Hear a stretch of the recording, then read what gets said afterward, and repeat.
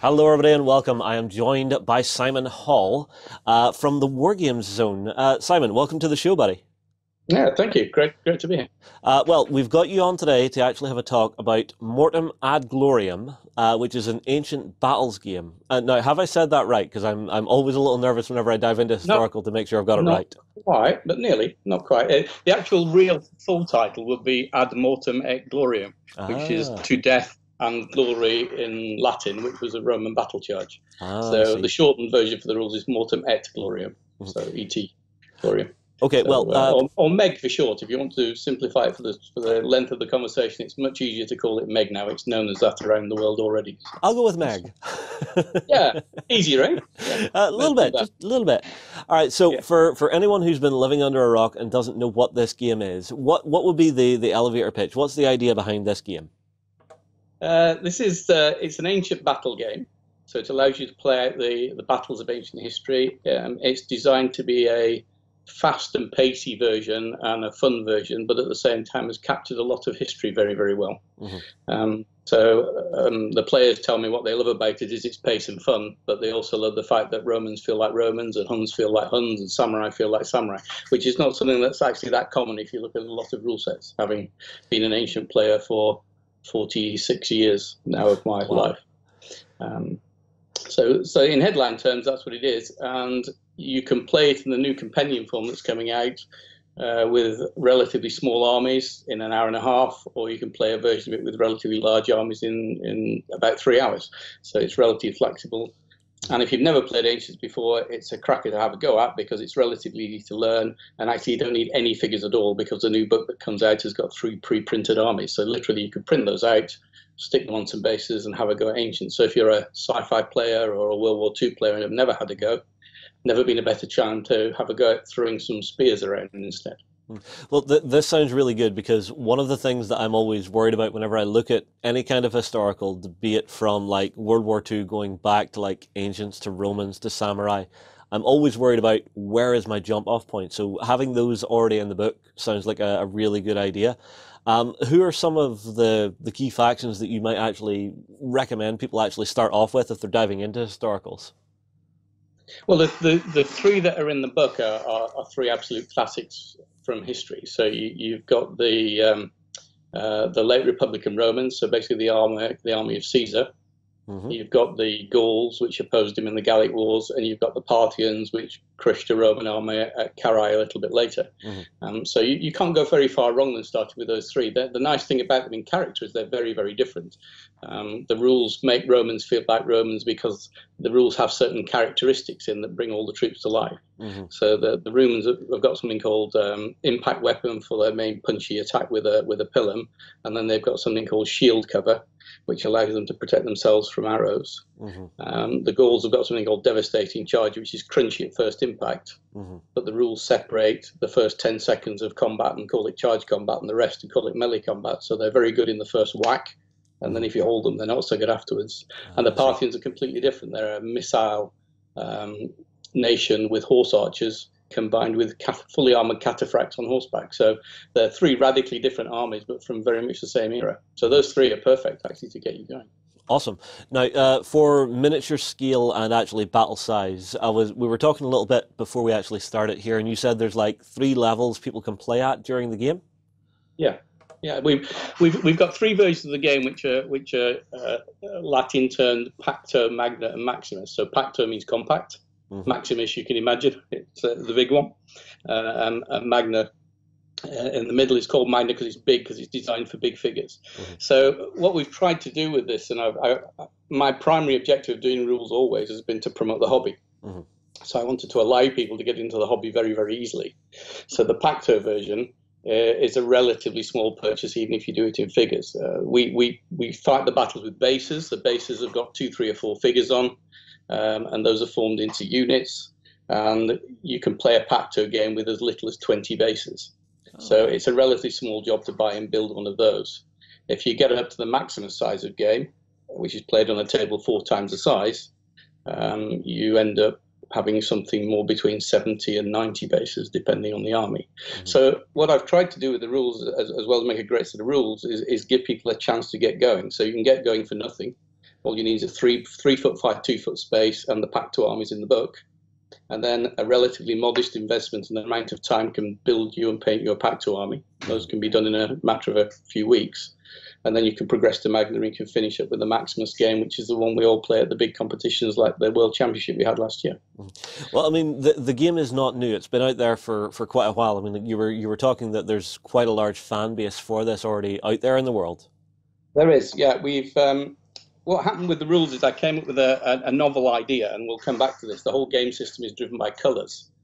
Uh, so it's quite unique, actually. And I, I, came up with that about five years ago.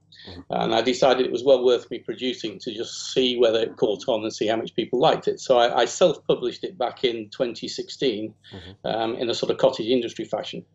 It wasn't even a book. It was a very nice folder. It was a good production. It was a nice folder with uh, with inserts and it's got some custom dice and some cards. Mm-hmm. Um, and I printed out 1,200 copies.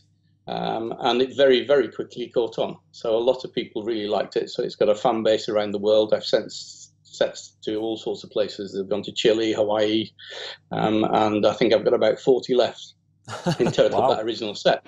So um, so that was a great exercise, and, and what it allowed me to do was to perfect the rules. Because what's been really lovely is we've ended up with a fantastic community feel. So out of those 1,200 players, I've probably got 300 who've been very, very active in making suggestions and tweaks and adaptations. Mm-hmm. So we've sort of perfected the whole thing and the point system over those three years. And we've got an amazing team of people on the history side because we, we now have 650 army lists, slightly more than, mm-hmm. um, for the different armies of ancient history, all the way from 2000 BCE all the way up to about 1550. Um, and all of those actually sit online on the Mortem et Gloriam website totally free. Oh, wow. So you've got an incredible database, and, and the people involved in it in that are fantastic. So we, we've had some fantastic involvement. So it's actually, after I launched it, caught on and become a real community effort. So probably after three years, even done that way, it's probably the maybe the third or fourth most played ancient rule set on the planet. I, I, would suspect it won't. Hail Caesar will be the biggest by a mile. Mm. Um, and on Facebook polls recently, it's actually come out first in terms of people's favourite rule set. So um, I'm thrilled to bits with that. And now, of course, doing it with PSC, the book's going to look magnificent, mm. and it's got these three different versions in and the pre-printed um, armies. Um, it's a very, very lovely package. So I'm thrilled to bits. In fact, I was just signing it off yesterday. It's, it's off of the printers. wonderful, wonderful. Well, that, that actually brings us to an important point. So you've done the original, and now you've, you've teamed up with the guys at PSC Games to actually bring it back to the market. The big mm. question that I'm sure is on everybody's mind is when, where, and how do I lay my hands on this? Well, the launch day is May the 2nd, so not long to wait now. Um, despite the, the virus, we've managed to keep everything going. Uh, we made a very early decision to pull all the production back to the UK, which has proved a, a godsend in terms mm-hmm. of timing. So um, everybody, everything's on schedule to be uh, to be launched then, and it will go on sale on the PSC website and on my website on that day. Uh, we've got a big launch event that day. I'm doing three webinars with uh, Dr. Simon Elliott, who's written the foreword, who's a, a well-known historian who specialises in Rome, mm-hmm. um, who loves the rules and says they're the only rules he's ever played that makes Romans feel like Romans. Mm. Well, so we are actually doing a bunch of webinars that people can sign up to, mm-hmm. register and join. And actually, what we're going to do is we're going to fight two famous Roman battles. He's going to fight one in Kent, where he lives, and I'm going to fight one in Cape Town, down where I now live. And the webinars are set up to be at the beginning, the middle, and the end of those battles, so people can join in at the beginning for an overview of the rules. They can join in the middle and see a bit what's going on, and they can join at the end and see what's happened in the two games. That's, so that's we've got cool. a lovely big launch event on, on those days. And in addition uh, to the rules, um, we've also got a whole load of figures coming out. Um, there are Mortem et Gloriam figures, and that is also well worth talking about. Um, it's a very interesting technology that will introduce me to. It's a different type of plastic. It sits in between what we would know as old soft plastic and hard plastic. Mm-hmm. And it takes paint incredibly well. The figures have some flex in them so they don't break.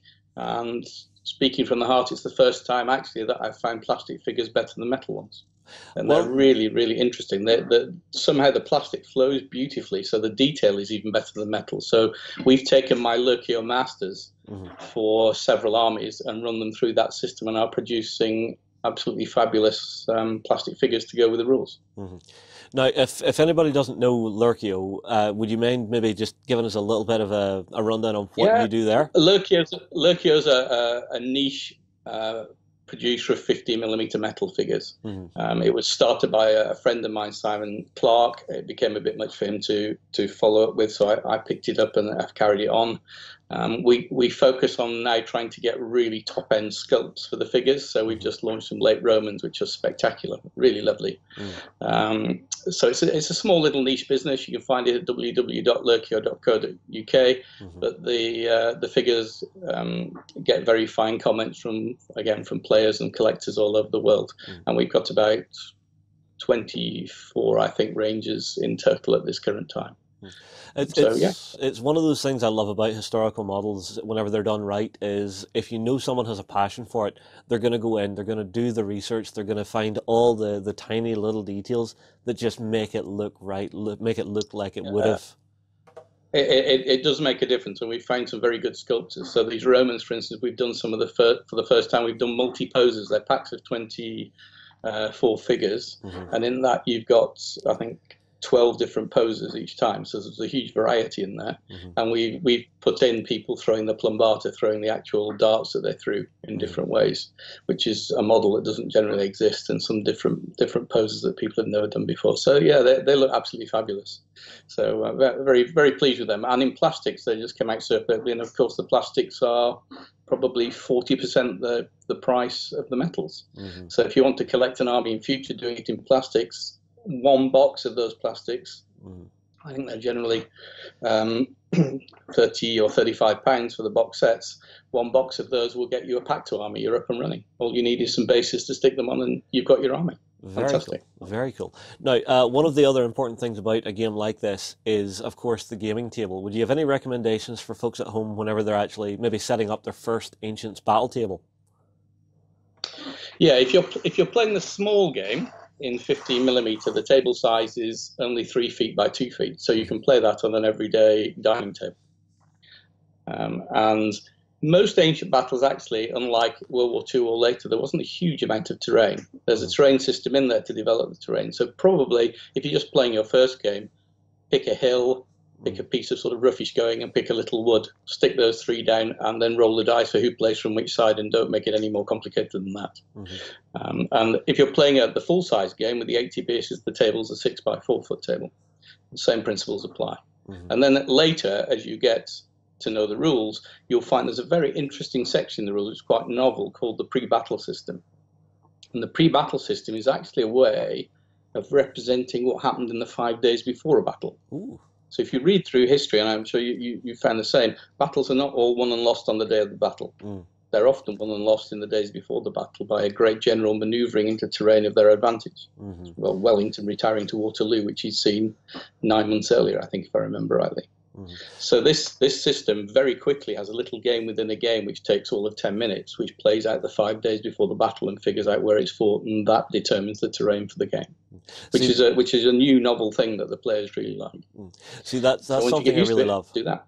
I, I, I love the idea that the the armies aren't just you know snapped into existence, we're lined up, we're ready to go, let's have a fight anytime whenever a game can actually say no no no the the the army is alive it's moving it's it's finding where it wants to fight you know there are scouts out ranging there's supplies coming in you know that's exactly that's exactly. what you really want to see in a game like this exactly and and the, and the trick we've managed to do with it is get enough of that in because most games have none of it in in ancients mm-hmm. to get enough of it in but do it quickly mm-hmm. so it's a neat system so in 10 minutes you've you've said to yourself right I've set my arm. I'll give you a narrative. It's like I've got a Gallic army. It's got lots of loose order troops. It wants to fight in the woods.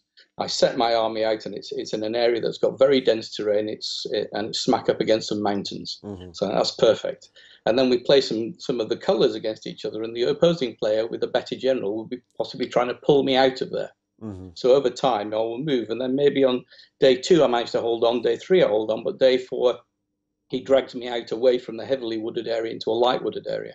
Mm-hmm. And day day five, I'm dragged out into a, a non-wooded area, and that's where the battle occurs. Mm. And the narrative for that is I've gone, I've had to go foraging, I've had to go find food, and Caesar, being clever, has caught me while I'm not around the trees anymore. Mm-hmm. And then I'll fight the battle in that type of terrain.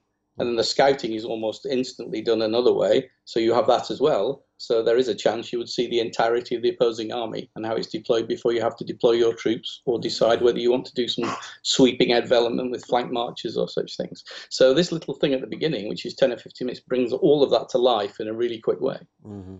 And then this this style of game, you know, an ancient battle game is very different to something like a sci-fi game where it is small units of people skirmishing. This is the the grand layout of a force. You know, you've got your cavalry on the flanks, you've got your artillery in the back, you've got your archers, you've got your mainline infantry. Indeed.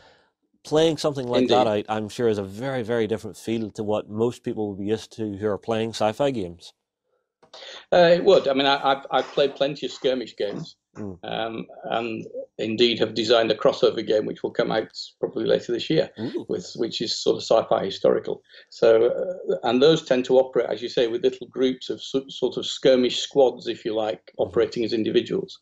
In this, you you start as Alexander the Great. And you look down at your army, and underneath you in your army are your three or four senior generals, and they're going to command the centre, the wings, the reserves. Mm-hmm. And under them are the junior generals, and they'll typically be 10 and 15 in an army, and they command big blocks of troops. So mm-hmm. one of them in the center might have a, a, third of the phalanx, and that might be 3,000 warriors in one block. And the whole army is representing 20, 30, 40,000 people, mm-hmm. sometimes much more than that. Yeah. So you play it out in the game with these fairly chunky blocks, which were the main what we, what we term tactical unit groups or skirmishing unit groups that you would see from the position of Alexander the Great. Mm-hmm. You wouldn't see a unit, in fact, a, a, a, unit as it's known in the in the phalanx is 256 men. Mm-hmm. You wouldn't see anything that small. You, you, you'd see a couple of thousand very long pointy sticks sticking up in the air where one of your big blocks of phalanxes and one of your generals is leading them. Yeah. So the battle has to feel like that. Mm-hmm. But the armies vary enormously. So if you're playing something that's like a Mongol army, it will end up having loads of fast moving skirmishes. And instead of feeling sort of stodgy, slow, and, and cumbersome and heavy, it'll feel extremely agile in this. And in fact, you'll be able to flow those light, light cavalry around the wings of armies or feint forward and retire and run away before you can get caught. And all those different tactics of history that are very real, mm. they, they all tend to come to life in the game. Yeah, there, there's something I'm wondering about as well is how do you manage casualties within the game? Because sometimes in an Ancients battle, it's not that a guy is dead or dying, it's that the unit is no longer combat effective. How do you, you deal with that with Meg? Yeah, we, we, we treat the cohesion loss in a very simple way, but it works very effectively. we, we, have, we have a set of bases. So if you can imagine two blocks of figures that are each four wide and two deep as bases, we have eight bases against eight bases. Mm-hmm. The, the game system fights by files, so you'll roll four dice against each other. And these the coloured dice that we use, which you come back to, tell you the result instantly when you roll them. Mm-hmm. And the results are either you take a whole base off, mm-hmm. you you credit yourself half a base if you like, and the next time you get a half base, you take an enemy base off, mm-hmm. or you do a special effect with an S, or you do nothing. Mm-hmm. So the whole attritional effect in the game is done by removing bases, mm-hmm. and that, that's actually rather nice because it gives you the sense of things gradually, slowly collapsing. Because as they deteriorate, their their capability of fighting drops because they have less files and less bases, and it, it all works quite nicely. Um, and then it, then once those drop to below half strength, they're broken, mm-hmm. and an army's made up of a bunch of those. And once the army loses half of those, the army is broken. So it's actually a relatively simple concept. Mm-hmm. there's nothing fancy about it, but it works extremely effectively because of how it interacts with the other other mechanisms in the rules. Awesome, awesome. Well, I mean, like it's it's one of those things I've been told by designer after designer is whenever you're building a game, you don't need to throw the kitchen sink at it. Build it till it works. Well, uh, yeah, absolutely. the big breakthrough for me in this, which was very interesting, is it's a it's a it's a system mm-hmm. um, using colors. So I, I had this idea that uh, wouldn't it be nice because it makes it very easy rather than having tables and numbers too much that we use five colors that we all recognize so i've got we've got red yellow green white black mm-hmm. so i set a system up where you have cards or chits you can use either and the colors on those uh, are used to maneuver your troops to make actions and the red is always the best mm-hmm. and the mm-hmm. black is the worst ah, so then then you move from that that generals who better generals get more of the chits mm-hmm worse generals get less of the chance. So what you're doing is you're looking at what chips you've got and you're deciding, well, with the red, I can do something fairly complicated with those drilled legionaries. And with my two whites, I can walk directly ahead, and these two black ones I've got no use at all, etc. So you're planning what you can do with the colors. Mm-hmm. It mirrors it with a set of dice that, that go red down to black with the three symbols of a skull mm-hmm. a sword and arrow, an S and a blank on it. And again, the red one is the best and the black one is the worst. Mm. And what's nice is once you know a few factors, you very quickly work out which dice you need to roll and you can read the results straight off the dice. Mm. So there's no thinking needed really. Yeah. So the, the idea of the concept was to make it fun because it comes alive with the colors, but also to take 80% of your brain power away from the outcomes. Mm-hmm. So that your brain power is focused on making the decisions as a general of what you do. Mm-hmm a lot of rule sets I played in the when I was growing up, particularly, and we, young, we, we used to love our tables of numbers and calculations. And, but actually, if you think about it, you're using 80% of your brain power to work out the outcome. Yeah, well, it's, it's really how it should work. It's reading a small language rather than trying to do maths, is the way I always describe it. That's a good way of looking at it. So once you've learnt the language of the colours, which is quite easy to learn, mm-hmm. it's super quick to, to actually work out what's going on. Mm-hmm. Uh, and once people know their armies, you very quickly know, oh, against those I'm a yellow against a white in charge combat. Mm-hmm. And that white me has got no skulls on it. That's not a very good dice. You can't really hurt me badly. Mm-hmm. But the yellow one has got a skull on it and has yeah. got a, more of the wounds on it, so I can do more damage to you. Yeah. So, so once you get that narrative thing. in your head, Mm-hmm. You're very quickly trying to make sure the opposing people are always throwing white or black dice, and you're yeah. always throwing coloured ones. And yeah. it's, it's well, uh, it brings to life. Well, Simon, plus the fun of rolling dice with skulls on is always fun. Of course, of course. Well, Simon, it, it, sounds like it's going to be a really fun game, and people should definitely go and check it out. Are there any other points that you would really like to let people know about, or is there anything about the game that was possibly missed? Um, I think we've got the headlines. I think that the the there are a few things that, to add. One is the community has become absolutely fantastic. So we've got a great online forum, we've got great Facebook pages, and the players are an incredibly friendly bunch. Mm-hmm. So if you want to get started playing Meg anywhere in the world, join one of those and put a message up, and you will get help. Mm-hmm. You'll get help very quickly. Yeah. There are a bunch of videos online from me as well, which, which will teach you how to play. So um, the rule book actually is people say is a relatively easy read, but no rule book is truly an easy read. So actually watching somebody give you a demo is often much better. So you can find all you need online to actually uh, do that. And all the events we have are great fun. We we I think this year scheduled we had 18 tournament events in the UK scheduled, even though it's not been fully published yet, mm-hmm. even in its original form.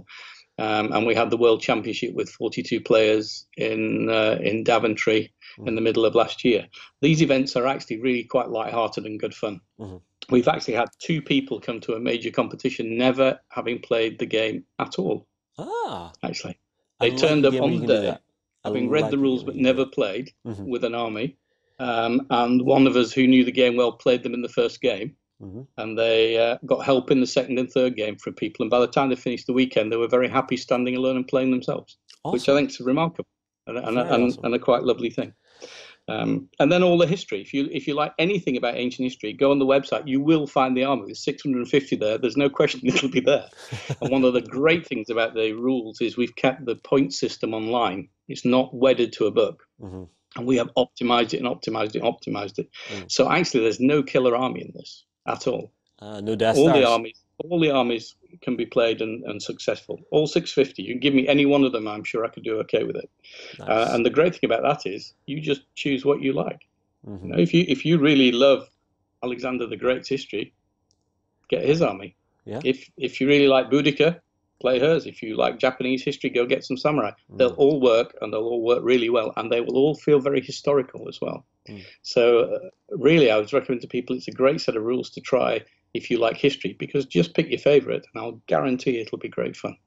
Awesome, awesome. And the only the only other things I would add is the, um, if I may, is the core system, the color system, is very adaptable. So what I found I can do is I can adapt the same principles to every period of history. Mm-hmm. So my overall vision for this is to have a suite of rules for all the different periods. So somebody like me, I'm I'm sitting in a room here with probably about 50,000 50 millimeter figures. Mm-hmm probably 5,000 28 millimeter ones, certainly 50,000 6 mil ones, and about 8,000 tanks. Yeah. Turtle. So, you know, I've done that over many years, but I change around the periods. Mm-hmm. One of the difficulties is if you want to play six periods of history and have to learn six completely different rule sets, it's pretty yeah. difficult. Yeah. But the nice thing about this is if we have a common core, flitting from ancients to Napoleonics to World War II isn't actually that hard. Yeah. So, the, so the vision over the next two years with PSC is we're going to bring out rule sets in uh, in total. We'll have the Meg one for ancients. Mm-hmm. The next one will probably be called be Divisions of Steel, which is a World War II one. Mm-hmm. The next one after that is probably Invasion Earth, which I alluded to earlier, which is a crossover sci-fi um, uh, colonial game. Yeah. It's based around the War of the Worlds era with Martians, and uh, there's a whole narrative to go with it. But it, it's a skirmish version of using this system. Mm-hmm. Uh, Renaissance Agrarian, I'll show which is the Renaissance version, English Civil War and the th- and the Thirty uh, Years' War, uh, and then uh, t- uh, tweaks for the Seven Years' War. and the American Civil War, and the whole lot. So basically, the idea I have is that there's a set of rules that uses color system, which we mm-hmm. call the the color command and control system, triple C system mm-hmm. that have all got that at its heart. So it's a little bit like Intel inside. You can have different computers and they've got they work in slightly different ways, but they've got a common core. And mm-hmm. by having a common core, um, you know it works well, and you can adapt pretty quickly from one to another. So wow. that's the big vision, which is going to take a couple of years to achieve. Mm-hmm. Um, but the World War II and the Napoleonic and the Renaissance are all nearly ready. Awesome. Well, they're all playing so, so hopefully I'll get space? to talk to you a lot more about these things as we move forward with that and figure ranges and, and such things and Definitely. see if we can get some of you people who love sci-fi games or fantasy games to have a crack at some of the historical games. Hmm, I, am I'm, I'm not going to lie. After after hearing about it, talking to you about it, I am I'm quite tempted. All right, well, uh, Simon, thank you very much for joining us today. Uh, everybody, I tell you what, uh, get your comments in below if you have any thoughts, any questions. Uh, just drop them in the comments section. I'm sure Simon here will probably have a little bit of a peek at them, and uh, you know you might get a comment back. Uh, Simon, once again, thank you. Everybody, we'll I'd move be on. Delighted. I'd be delighted to answer any comments. Not a problem at all. And uh, thanks for inviting me on. Look forward to the next time. All right, awesome. Everybody, we'll move on. We'll see you again soon. Go ahead and check out our other content on screen now. And while you're at it, why not hit subscribe and remember to ding our dong. Go on, you know you want to click it. Go on.